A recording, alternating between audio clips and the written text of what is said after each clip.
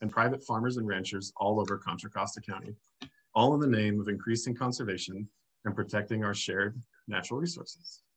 Tonight we'll be highlighting some of that work we've got going all over the county here. We'll start with a brief video from our brand new EcoSteward Conservation Program, talking about the work they're doing in the San Joaquin Sacramento Delta. After that, we've got another brief video talking about our voluntary local program here and how we're partnering with ranchers to protect and improve conditions for endangered species here in our rangelands. Finally, we'll end with a series of interviews Derek Emmons collected from urban farms throughout Contra Costa County. Before we get started though, just a few quick points of order. We're gonna go through all the presentations and then answer any questions you guys have at the end. If you have any of them, please feel free to use the Q&A section down at the bottom of your screen and we'll answer them all. If you'd like to, we'd love to know who you are and what brought you here. Feel free to introduce yourself in the chat uh, and tell us maybe what your favorite fruit or vegetable is or maybe your favorite outdoor space here in Contra Costa County or wherever you're watching this from. And as you introduce yourself, we'll introduce ourselves. So like I said earlier, my name is Ben Weise. I'm the Agriculture Conservation Manager here at Contra Costa RCD. I've been with the RCD now for just over four years and work mostly with farmers and ranchers to improve natural resource conditions on their farms and ranches. Uh, next, I'll ask Derek to introduce himself. Hey everyone, uh, my name is Derek Emmons, and in October I was hired as the Agriculture Conservation Coordinator at the CCRCD. Uh, my work involves providing technical assistance to farmers and ranchers uh, in applying for and engaging with opportunities in soil conservation and biodiversity stewardship. Thanks, Derek. Uh, next, I'll ask Evan to introduce themselves. Hi, my name is Evan. I also started in October along with Derek, and I'm one of the EcoSteward conservation technicians. Uh, this program was brand new when me and Dan started, and we have been buying tools, got a truck, and have built the program up. At this point, we're going all around the county to implement restoration pro projects. And finally, I'll ask Dan to introduce themselves, and if you want to introduce the video for us, Dan. Mm -hmm. Sure. Thank you, Ben. Um, so my name is Daniel Correa. I'm one of the I'm one I'm the other EcoSteward conservation technician along with Evan. Um, and our program focuses on restoration along the Delta and other areas around the Contra, Contra Costa County. Um, so we are all over the place. Uh, we also do community work and we try to assist on any environmental projects that we can. Um, so um, moving on to the video we're gonna watch. Um, our video is called A Day in the Delta with the Eco Stewards. Uh, in this video, you will see a lot of the work that we do. And also you will be able to learn a lot about the invasive plants management practices and learn about the Delta because it's an important habitat that we need to protect and be able to uh, restore um, and make sure it stays safe for future generations. And with that, Eric, if you want to start the video.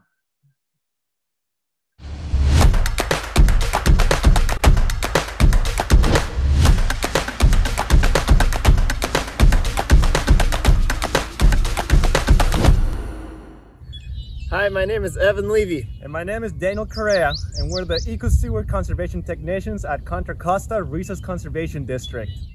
We work to restore habitat for wildlife and improve ecosystem services for the people of Contra Costa County. A grant from the Department of Water Resources jump-started this program to restore and maintain various DWR sites throughout the San Francisco Bay Delta. Our current project tasks include revegetation, invasive weed control, resource, mapping, and data collection. The Eco Stewards are also working on other community projects, including marking stormwater drains, installing a pollinator garden at the Richmond Greenway, an environmental education program, and planting trees. Much of our work occurs in the San Francisco Bay Delta. The Central Valley's two great rivers, the Sacramento and San Joaquin, meet in the delta before flowing out into the bay and ocean. These rivers are essential to California's health. Delta water is the primary source of drinking water for 25 million Californians. The Delta also sustains important fisheries, millions of waterfowl, and thousands of farmers and ranchers producing billions of pounds of food. Even if you've never visited the Delta, your life as a Californian likely relies in some way on the health of this place. The Eco Stewards are working to improve the Delta's resiliency to threats like climate change, sea level rise, and habitat degradation. By planting native plants, maintaining existing native plant communities, and removing invasive plant species, the eco stewards are improving habitat conditions for wildlife in the Delta. So here we are at the uh, dunes at Dutch Slough, and this is a pretty rare and special ecosystem in Contra Costa County. The Antioch Dunes used to stretch for about seven miles and they were hundreds of feet high. This is one of the restored sites uh, here in, in Dutch Slough, and we've got some pretty exciting dune plant species like the naked stem buckwheat and um, this dunes evening primrose. And so as the eco stewards, we've been coming out here to maintain this habitat and make sure that we um, clear up the space so that it's sandy rather than um, with like non-native grasses on top. Uh, this lets the bees and other insects burrow into the sand and also allows space for these uh, native dune-loving plants to colonize and take root. As you can see, um, over the last five years, the Department of Water Resources has done a great job at restoring this, this dune habitat, and we are here maintaining it at this point. Here we have the Dunes Evening Primrose. This plant is important because its large flowers provide valuable nectar and pollen for hawk moths and other pollinators. Around it you can see a lot of invasive plant species. In order to increase the primrose's chances of surviving, one of the things we do around here is remove the invasive from around the plant. By removing these invasive plants by hand, we're reducing the competition for resources like nutrients, sunlight, and water. Techniques such as this have helped this plant and other important dune species thrive here at the Dutch Slough.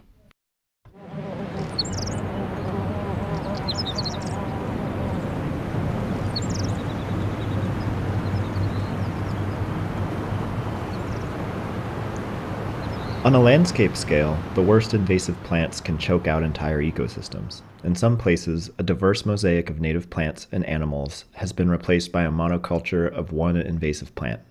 Much of our time is spent maintaining just a handful of particularly aggressive non native plants, such as Himalayan blackberry, pampas grass, and poison hemlock. Let's tackle some blackberry! Himalayan blackberry is a non native species of blackberry that can grow up to 40 feet tall it grows in moist soils, disturbed areas, pastures, rangelands, and roadsides. Large areas of blackberries are called brambles and can really take over forests and meadows. Animals eat the tasty berries and transport seeds all around California. The vast underground network of roots makes these plants incredibly difficult to eradicate. Himalayan blackberry can be managed by annually cutting the canes with hedge trimmers, loppers, and weed whackers and removing the dead blackberry to a dry area. Further treatment with herbicides is often necessary. Pampas grass is another aggressive non-native plant in the delta. Horticulturists originally brought the grass into the US from South America as an ornamental plant and it is sold at greenhouses and nurseries. Pampas grass can be identified by its tall, fountain-like shape, bluish, green, and V-shaped leaves. This invasive reproduces by dispersing millions of seeds into the wind. These seeds land in areas far away where the plant is able to rapidly make new colonies. Manual removal of mature pampas grass is next to impossible since it becomes such a large multi-stem plant. One method we use to get rid of pampas grass is to cut it back to the base and then use target herbicides to kill individual plants. Poison hemlock is a common invasive plant that belongs to the carrot family. It is found in pastures, riparian areas, and disturbed soils. Just like its name indicates, poison hemlock contains toxins that can harm or even kill livestock, wildlife, and humans if consumed. Some invasive plant communities can be managed by mechanical means, such as cutting and digging. However, there are times when invasive plants cover an area that is too big to be managed this way. In these situations, we often use herbicides. Herbicide application is a useful invasive plant management technique. It allows us to eliminate large areas of invasive plants in a short amount of time. By combining mechanical management techniques with smartly applied herbicides, we are able to drastically reduce the amount of chemicals needed to control these invasive plants. By replanting these areas with native plants after treatment, we're able to outcompete the non-native plant and establish productive ecosystems. Of course, routine maintenance is crucial to ensuring these newly established habitats stay healthy. These restored habitats clean our water, provide habitat for wildlife, and increase the recreational and aesthetic value of places in Contra Costa County. Thanks, Thanks for, for joining, joining us today and have a wonderful Earth Week.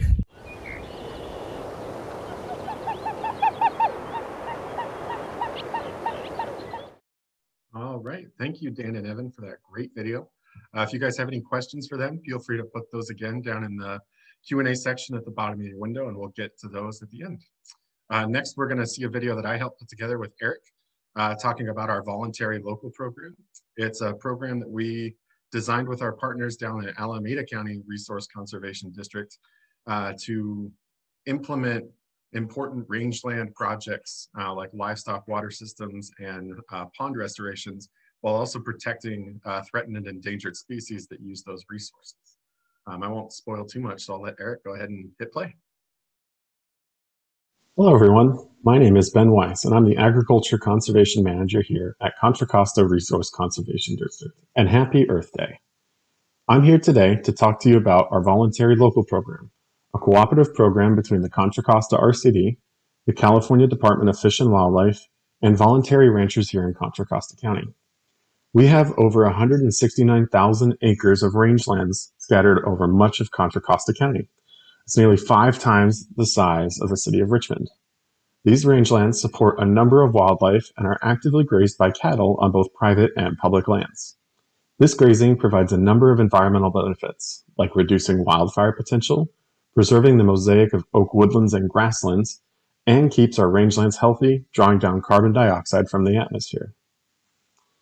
These rangelands are also teeming with wildlife. You've probably seen and heard a number of hawks, eagles, sparrows, woodpeckers, coyotes, frogs, fish, bees, and more. Today, we're going to talk about two species in particular, the California tiger salamander and the California red-legged frog. These two species are what we call species of concern, meaning that they are both at risk of extinction unless we do something. These species are near extinction for a few reasons, but mostly because of the disappearance of their habitat, namely pools and ponds that the tiger salamander and red-legged frogs used to breed that were scattered across the Central Valley and Delta. Today, these salamanders and frogs use ponds throughout our rangelands as breeding grounds and habitat. These same ponds are also used by livestock for water. Over time, these ponds begin to naturally degrade and fill with sediment or face other structural issues. As this happens, the frogs and salamanders lose valuable habitat, while the livestock lose access to reliable drinking water. Through the voluntary local program, Contra Costa RCD, in partnership with the USDA Natural Resources Conservation Service, the California Department of Fish and Wildlife, and the rancher themselves work together to fix these ponds and other habitats and rangelands for the benefit of both livestock and wildlife. By working cooperatively, and following a number of best management practices to protect frogs and salamanders, we're able to achieve a win-win scenario for everyone involved. Livestock and ranchers get an enhanced source of water, while frogs and salamanders get better and more plentiful habitats. Today, I wanted to show you one of these restorations that Contra Costa RCD helped facilitate a few years ago. These photos were taken by citizen scientist Mark Geary from up in the Morgan Territory. Mark has visited the pond every month since April 2013 and taken photos that show a pond slowly deteriorating. The spillway for this pond, where excess water was supposed to overflow to a creek, had eroded to the point that the pond was barely holding water. From some of these photos, you can see the pond with barely any water in it in the late summer. Ideally, these ponds go dry in late October slash early November, allowing for the livestock and wildlife to make the most use of it. By going dry, this prevents bullfrogs from moving into the pond, which are predators to the red-legged frog and the California tiger salamander. After some construction in October 2017 through the Voluntary Local Program, this pond's embankment was repaired and the spillway was rerouted, resulting in a higher volume of water within the pond itself and longer periods of water within the pond. In the following non-drought years, Water has been around the pond through early November before going dry and filling again in late December. Mark was lucky to take a video this past January of a California tiger salamander in the pond, taking a gulp before swimming back down to the base. These salamanders breed in the ponds from December through February before returning to nearby ground squirrel burrows where they live. Hopefully next spring we see even more California tiger salamander in this pond and a few California red-legged frogs. I wanted to thank Mark Gary and Gary Nafis for letting us use their photos and videos. Both are active citizen scientists and provide crucial monitoring of these and other species. If you'd like to learn more, please check their website out at californiaherps.com and learn more about these and other snakes, lizards, turtles, frogs, and salamanders. Thanks for watching and learning about our efforts here in Contra Costa County to help threatened and endangered species recover in voluntary partnership with our ranching community. If you're interested in learning more about the program, please feel free to reach out and contact us. We look forward to hearing from you. Thanks again and happy Earth Day. Love seeing those little salamanders. As Derek just messaged me, they're so cute.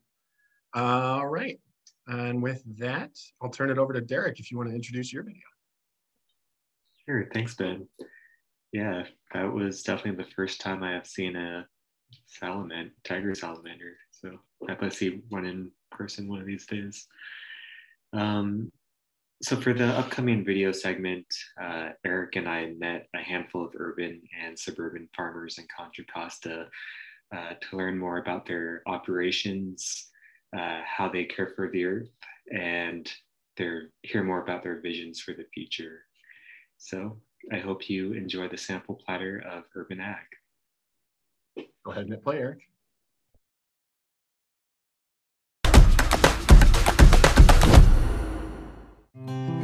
Greetings everyone, this is Derek Emmons with the Contra Costa Resource Conservation District.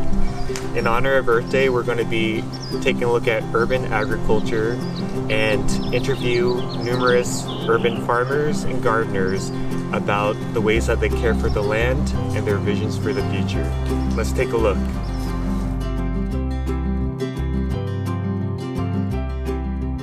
Hey everyone, uh, we're here with Jasmine from Los Medanos uh, Community Health Care District. Uh, Jasmine, would you like to introduce a little bit more about yourself and the work that you do? Absolutely. Um, so, hello everyone. Thank you so much for having me today, Derek. My name is Jasmine, uh, and I am the Community Outreach Specialist for the Los Medanos Community Healthcare District. And I'm also the lead organizer for the Ambrose Community Garden as well. Um, so, we're here today talking about sustainable practices, right, Derek? Yeah, in honor of Earth Day. um, so, I guess to start, Jasmine, uh, you know, just looking at this community garden as well as Ambrose Community Garden, uh, you all are doing so many awesome practices, uh, both in regards to the soil, the diversity of the vegetation. Um, and I guess I was hoping to hear more about uh, what do what what do you and your volunteers do to help take care of the land? Yes. Um, so I first want to start by saying that, um, you know, in this era of unhealth, that we believe that promoting sustainable practices is what's going to be best uh, to create a future for our earth. Um, so some of the sustainable practices that we practice here and also at the Ambrose Community Garden uh, are seed saving practices. We also implement um, composting as well, in which we take last year's crops out and we put them into a compost bin so that we can utilize that soil to continue to bring life back into the garden. Uh, another thing that we do to promote garden uh, sustainable practices as well is um, planting native flowers here so that we can attract native pollinators such as hummingbirds and bees and um, birds and all sorts of things like that. Um, so those are some of the sustainable practices that we implement at both sites. Hey, that's great. Yeah. But, going back to the work that you're doing with youth, um, I was wondering if you could tell us a little bit more about how you got started in this work. Absolutely. Um, so I can remember when I was a child going back to my first experience in the garden uh, where I was working with my mom um, in the garden and we planted things like corn and watermelon and zucchini. And I remember harvesting the first watermelon that we ever grew. And I was so impressed that little old us could grow our own food. Wow, that was incredible to me. So now that I'm an adult, I can always remember that child that experience as a child and I wanted to give that to more children because that will stick with them forever. So I did pilot my first garden program at the Ambrose Community Garden. It was called Little Sprouts and we invited the Head Start kids to come out and explore in the garden. And not only were they gaining communication skills and social skills, but they were learning how to identify plants. When we first started that program, I asked the kids, where does a tomato come from? And they said, the store. And I said, okay, so we got a little bit of work to do. And through those couple months, the kids not only discovered that tomatoes taste good from their garden, but what a tomato looked like from the garden. And they learned how to identify that. From three to five years old, they were able to identify that. So I said, let's keep doing this work. And so now that I'm here at the Los Medanos Community Healthcare District, we do have a garden academy for the kids in which we have rolled out Zoom classes due to the pandemic. Um, ideally, we would love to have the children out here in the garden exploring, digging, finding worms, tasting plants, seeing colors, and things like that. So, those are the types of things that we do with the kids. So, taking a look at this garden as well as Ambrose Community Garden that you manage, the amount of diversity of the crops and the, the work that you're doing with the soil is very impressive. And I was wondering if you could speak a little bit more about how the way that you do agriculture cares for the land. Absolutely. Um, so I just want to first start out by saying that you know we do believe that sustainable practices are going to help us to create a better future. Um, so some of the ways that we implement that here at the Los Medanos Community Healthcare District Garden and at the Ambrose Community Garden is by making sure that our um, plants are nice and native. We like to plant diverse crops um, that are going to promote the uh, coming of honeybees and native pollinators such as hummingbirds and butterflies and different things like that. We also do have a kids garden here where we talk to the kiddos all about where their actual source of food comes from.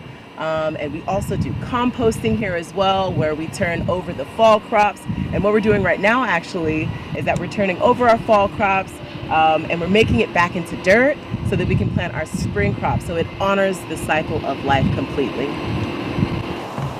What is your vision for perhaps a best case scenario or mm. sky is the limit dream for this community um, in finding some kind of balance or reciprocity between living and caring for the land? That's an interesting question. Um, you know, I think that ideally, you know, I know that not everybody has access to raised beds or a community garden, but I think that what the dream is that as a community, we can educate ourselves through food education and then we can actually grow our own produce just like we did you know in the past. We have become so far removed from the process that you know we all think that fruit is only available in the store but we can grow it ourselves. And i also always hear a lot of people say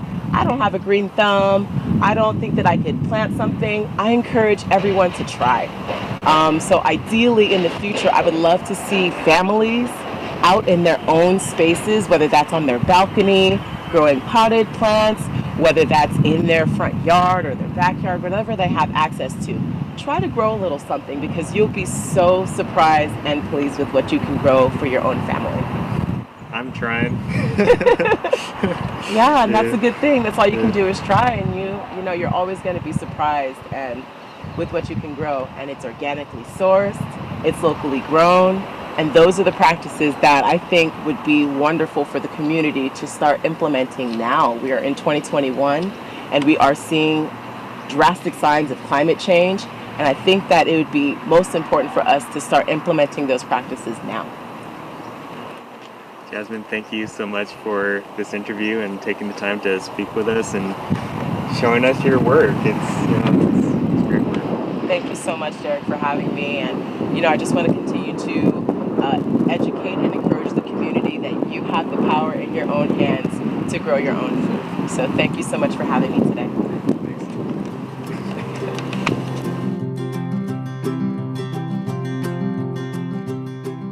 Hi everyone, we're here uh, with Ray Hartz at the Healthy Hearts Institute in Pittsburg, California. Uh, Ray, could you tell us a little bit about your operation and how long you've been here? So um, I'm Ray Hartz. I'm the founder and executive director of Healthy Hearts Institute. Uh, we've been on this property for four years now. Um, it used to be a, a baseball field and a um, exercise track that was out here, and kids used to run around out here. Um, and so I started Healthy Hearts uh, maybe about six years ago, um, but I've been on the property four years and uh, our goal was really just to bring healthy organic produce to the community uh, teach them about stress management through mindfulness and meditation. Um, we do cooking and nutrition classes um, and we also do an organic gardening and environmental sustainability class. Cool. So it sounds like the, the farm and uh, the farm is just one piece of a larger well-being program community care program yeah um, like i said our goal is like we know that nutrition is um, a big contrib- contributor to our health but we also know um, growing food has an impact on the environment as well um, through carbon sequestration um, and and you know uh, local food takes out emissions for food to travel. So we're thinking about like the total health of people um, not just like food but there's also like mental health there's fitness there's uh, knowing how to cook and prepare healthy meals. So there's all these other um, components to being healthy um, and the environment is one of them. Self-care community care earth care yeah? Yes absolutely.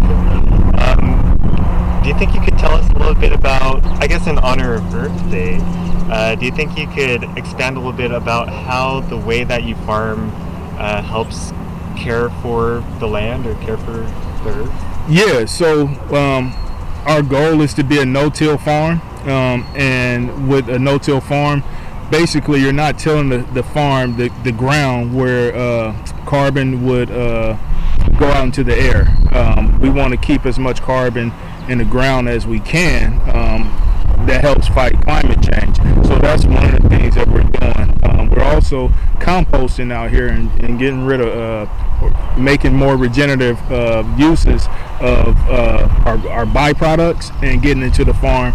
Again just like building the soil through organic matter um, and not polluting the air.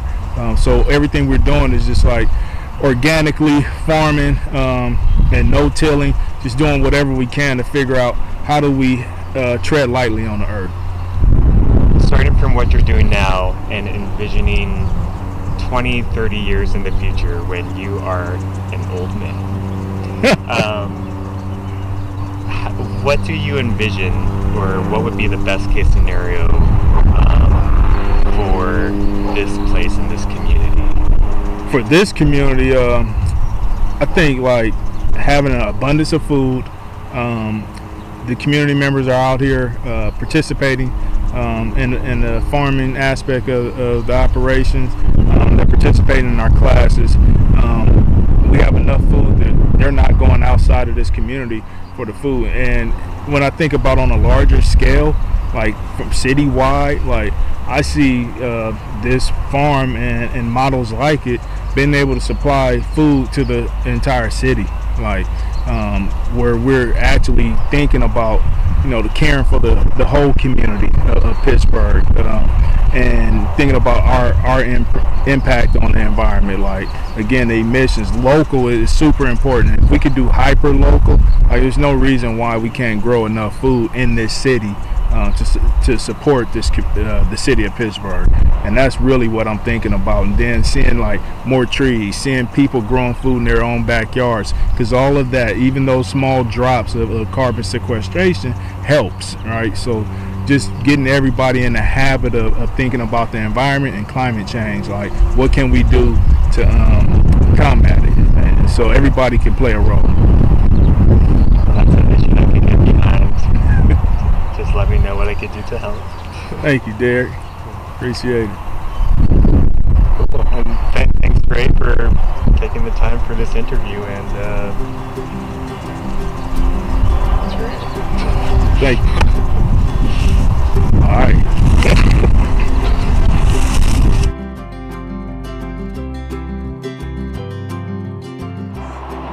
Hey again, everyone. We're here at Family Harvest in Pittsburg, California, uh, with Mary, Malik, Kim, and Chris.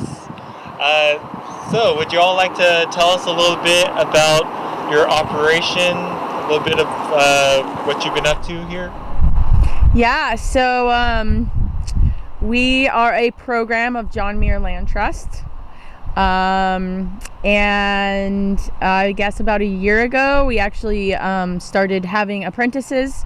We um, employ and teach transition age foster youth how to grow their own food, um, give them community, give everyone a community, volunteers, people in the neighborhood, um, and job skills. And it's a year long program, so um, they stay here for a year. Um, and then there will be two people that will go on to a second year if they're really, really into it and want to continue going. Sounds like a cool program. It's pretty awesome. we um, are also very big on regenerative agriculture, so we don't till.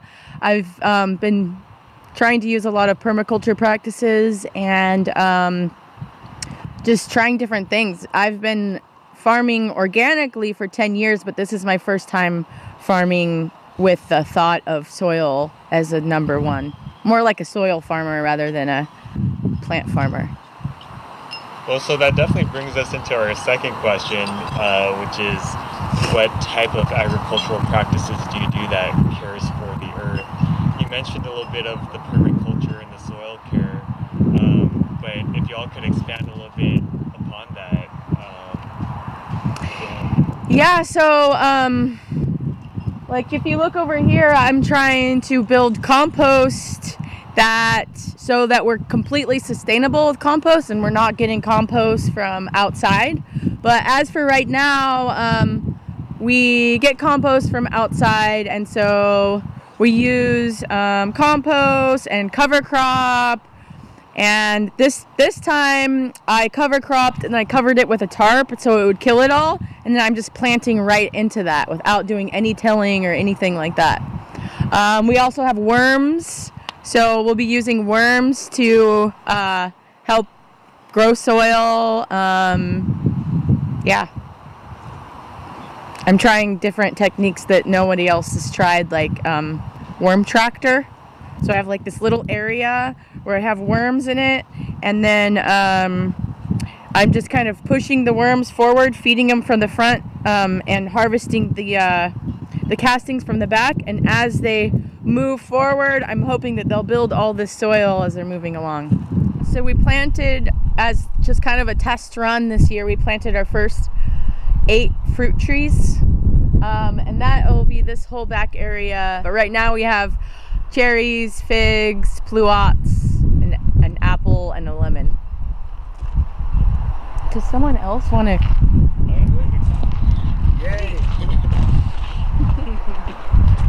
Hi, you guys. Malik, let's say 20 to 30 years from now, um, if sky was the limit and um, this farm, this community, things were looking great, what would be your, your vision for people caring for each other and caring for the land? Well, we could just like work together as a group and like try to bond with each other and have fun, kind of. Well, I would like to see like all the plants grow and get bigger, really, and see where it goes from there.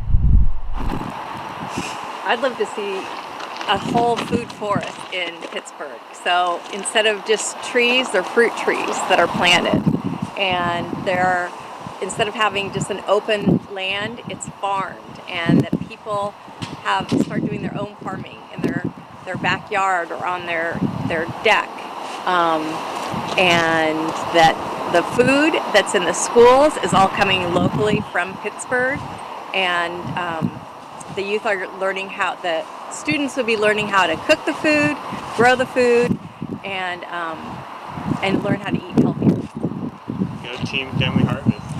Woo! Come back and see our hedgerows that are going in this can't- fall. I didn't know you guys planted this trees. spring. That's cool that you guys Spring. planted trees. I'll be around, so y'all just holler whenever you need two hands. All right. Sounds good. Thank you so much. Thank you. Thank you.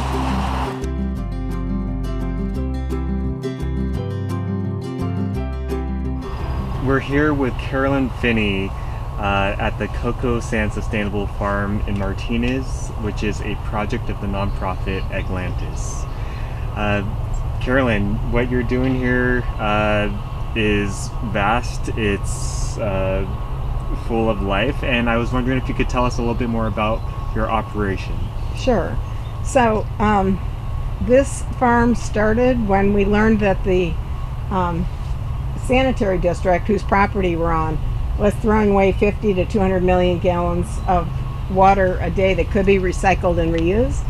And that water is high in nitrogen, phosphorus, and potassium and micronutrients. So it's fantastic for agriculture, not necessarily very good for the bay, although they discharge it at the bottom of the bay so the sunlight doesn't penetrate far enough to cause algae bloom. But um, my feeling as uh, an environmentalist was, as an activist, was that we should turn the hose around and discharge that water on the land and feed some of the 20 at that time 22% of the people in the county which is um, maybe 350000 um, were hungry of course now it's almost double and so this farm and this non, this nonprofit have has four primary goals. The first is food equity, which is is working to attack nutritional poverty. The second one is education, which has to do with public education, and I'll go into that more. The third one has to do with the environment. So these are four E's. And the last one, which we didn't start out with, but we added later, is economic development and job training. The sanitary district had about 150 acres of buffer land. So we asked for 15 acres, we negotiated, and we eventually got 15 acres.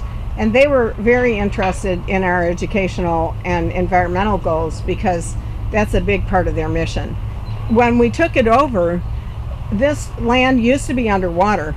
And um, the county quarry across the street and Central Sand had filled the bathtub, if you will, up with subsoil from the Highway 4 project. It was just minerals. It was functionally a desert. And this goes to the environmental goal. So our first goal was ecological restoration of the soil. And um, my co-founder is the genius. She's the head of horticulture at DVC, Bethlyn Black. And um, she um, knowing that I knew nothing, told me to go out and get 15 big truckfuls of compost per acre. And I was like, where am I going to get that? And EcoMulch covered the entire farm two feet deep in mulch, which is carbon. And then um, we got organic horse manure and covered the entire farm um, one foot deep in organic horse manure. All this took about three years. And um, um, so then um, that's basically compost lasagna. You're putting down carbon, then you're putting down nitrogen, and then you need rain because you want it to um, disintegrate and you want the microbes to start breaking it down and turning it into soil. Well, of course, when we finished it, we had drought. And um, people were looking at us going, Oh, you're going to set the place on fire. You're just piling poop out there. And um, we're like, no, it's not going to catch on fire. Well, the other side of the property caught on fire, and the fire swept over to our fence line and turned and went the other way because our side of the property had a three foot blanket on it.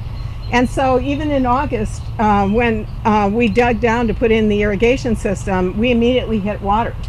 And so, fire doesn't like water. So, it, we actually were the opposite of causing fire. And so I actually hired an organic farmer from the high school to come out and help us harvest.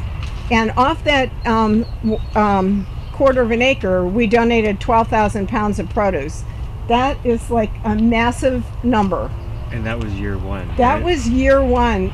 The next year, we doubled it to half an acre. Again, we're just in an experiment, so we don't know if we double the production, are we going to double the output?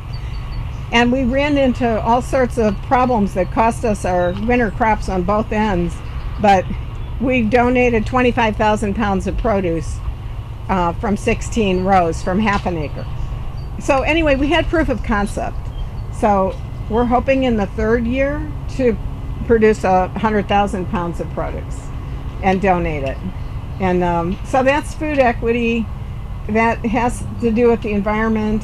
And then in terms of the soil, um, when we um, do things, although now that we have this greenhouse, everybody's fixated on these cute little seedlings, but our primary focus is underground um, because most agriculture destroys the microbes in the soil. Um, they it destroys it by um, um, the the soil is a vast network, a vast world. Think of humans above the soil.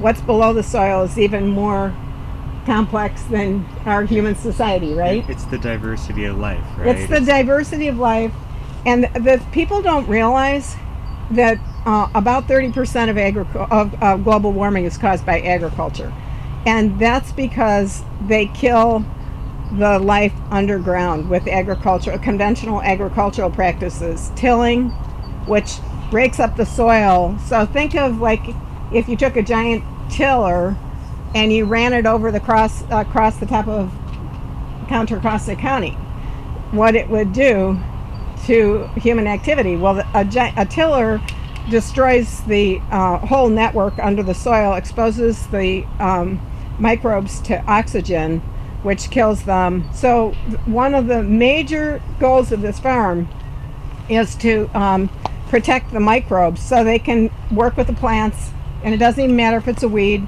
and sequester carbon in the soil.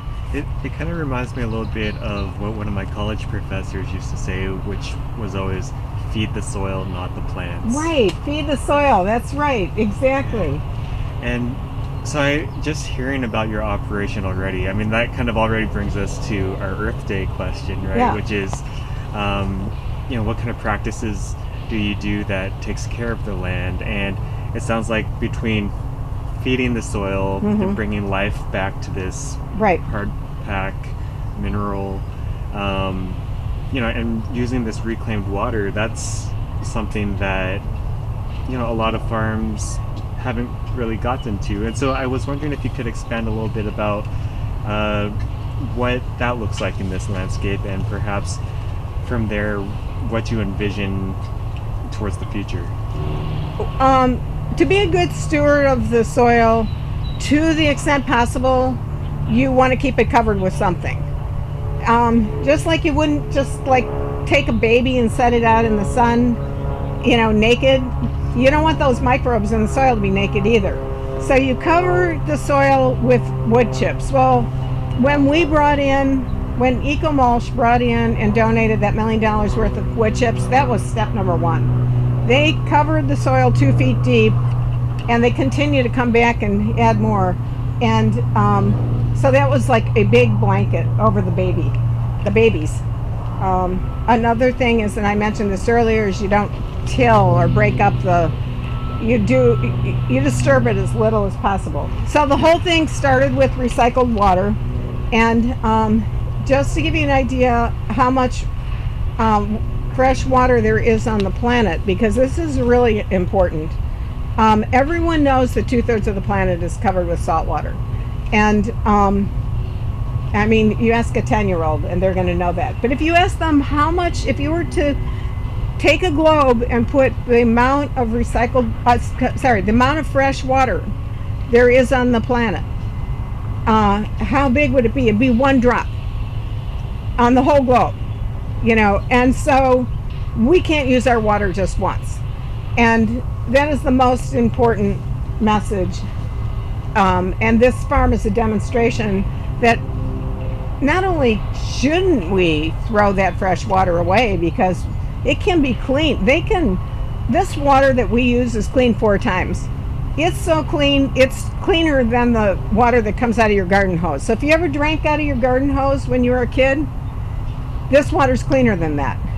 And um, they basically can separate the H2O from everything else. Now, fortunately for us, they do not take out the NPK and micronutrients. They do not take out the nutrients. We so coming from the philosophy that we have to reuse every all of our resources. All we need to do is take the purple pipes, and they're purple to notify you that they're recycled. And that's why the faucet over there and the little pipe sticking up is purple.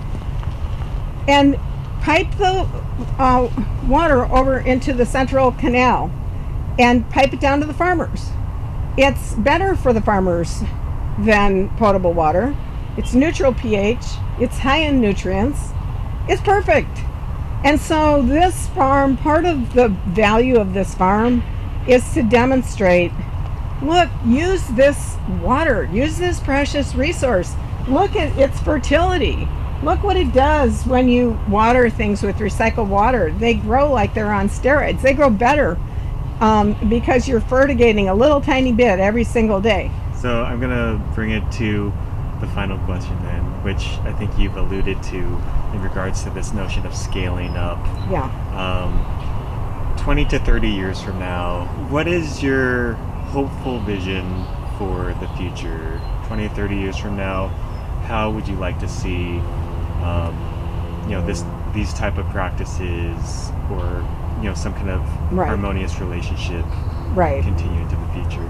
I would like to see every drop of water, fresh water that's cleaned by the sanitary districts to such a high level that really in an emergency you could drink it.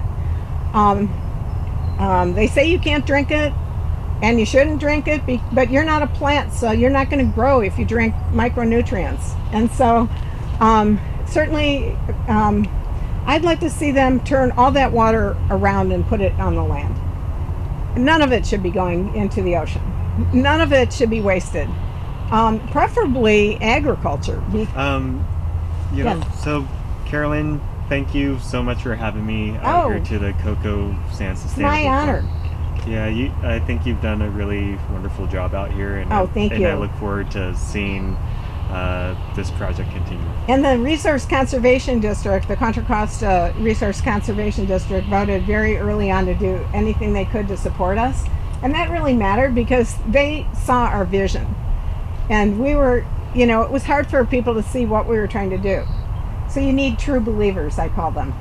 You know, early on, the ones that say, yeah, you can do that and that is valuable and we're going to support you and put our, you know, name on your project. So, and so thank you to the to the RCD. I think that we're vaccinated. We can do this. We can do the fist pump. We can do the fist pump.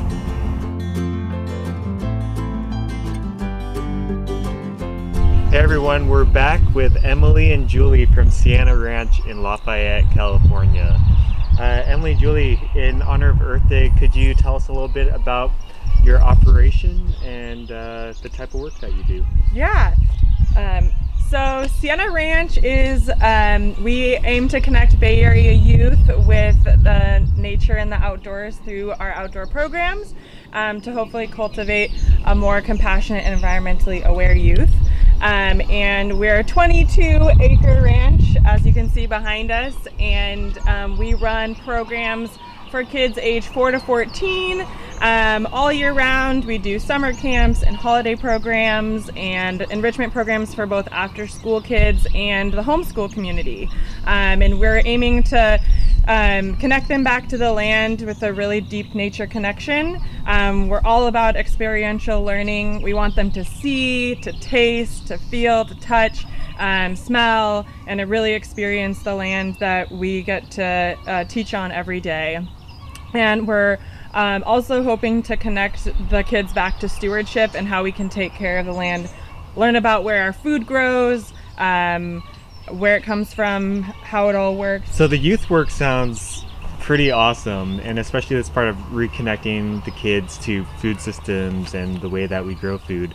And, you know, coming back to this concept of urban ag, it looks like you all have a lot going on here. You have the vegetable gardens, uh, the orchards, the livestock. And so, if you could uh, tell us a little bit more about how your agricultural practices takes care of the landscape and the ecology, um, I would love to hear more. Yeah. So we are a learning space and we are focused on regenerative uh, agricultural principles and because we have that flexibility of being a learning space we get to practice and try on different approaches and learn from both our failures our mistakes and from our successes and we do get to really uh, take the opportunity to utilize all the different inputs and wastes that we have here on the land. And for example, we build our own compost, we're building soil and saving financial resources as well as moving towards a closed loop system. So that is a really powerful direction that we are going towards. Cool. And when and when you say closed loop system, as in the the farm products, the organic matter that you're producing on site, the manure that's on site, you're recycling that back in, yeah? Yeah, so our students get to participate. They're mucking the stalls, they're building compost piles, they're sifting soils. We um, get to direct those that compost that manure um, to our orchards to our food forest and to our um, garden and really focus on them doing being involved in that process i guess could you both tell us a little bit more about what your long-term vision is for this place uh, 20 to 30 years from now if we ever get a chance to retire um, what you would like um, what you would like to see in regards to our relationship to the land and each other. Yeah. So in 30 years, we are retired. We're relaxing. Um, but we have inspired and educated and equipped our uh, current youth in 30 years with the tools, the inspiration, the resources to take the reins and advocate for environmental justice, for holistic land management, and hopefully uh, here they're getting to see um, our steps towards that, uh, towards that holistic land management and that regenerative um, agriculture. And we have goats, we have sheep, we have horses, and we have the 22 acres that we get to practice um, integrating um, all of those elements together. And we hope in 30 years that uh, our community that we are serving through education, um, that they're able to use our site as a demonstration site and adopt those those tools, those visions. And we hope to have really healthy soil. So rather than just looking at what we've created and programs and production. It's more about like what does our land look like in 30 years and is it still healthy? Is that soil nice with that beautiful compost smell? well, I think thus far y'all are already making a beautiful and fully functional demonstration site. Thank you both so much for having me out here at Sienna Ranch. Um, and before we close out, I was wondering if you had any questions for me. Yeah, I think um, we're really excited about where the future can go and what we can do with this land. And we know that we can't do it alone um, and that we all have to work together and collaborate and um, learn from each other. And so I'm curious how does the CCRCD help organizations like us? How do we work together? What does that partnership look like? Ooh, there's many pathways forward on that one. Um, so part of what we do is help support urban farmers, rural farmers, community groups with uh, funding programs and grants such as the NRCS EQIP program. There's the uh, CDFA Healthy Soils program that goes to fund planting things like hedgerows, cover implementing cover crops, mulching. Um, you know, and in addition to these government funding pathways, there's numerous nonprofit networks that we are also uh, affiliated with, and local community groups like our watershed councils and Friends of watershed groups. And so, you know, moving forward, you know, just maintaining those open open doors, and as we hear of opportunities, trainings, uh, we'll stay connected. And uh, if you, likewise, if you guys need support or have any ideas, you know, let us know. All right. Thank you, Thank Derek. Julie, Emily, thank you so much for having me here at Sienna Ranch uh, and for sharing a bit about your operation, your vision, and just all the great work that you're doing. Um, I think coming out of this, I'm feeling much more uh, uh, optimistic about the future and uh, really look forward to working with you in the future as well.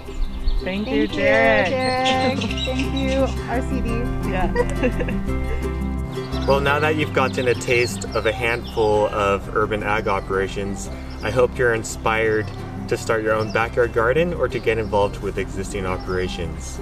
I want to give a shout out to Urban Tilth and Planting Justice, both of which are doing outstanding work in food justice and community empowerment. If you would like to stay involved and uh, keep in touch, uh, please email me at the contact below, and we'll see you next time. Thanks.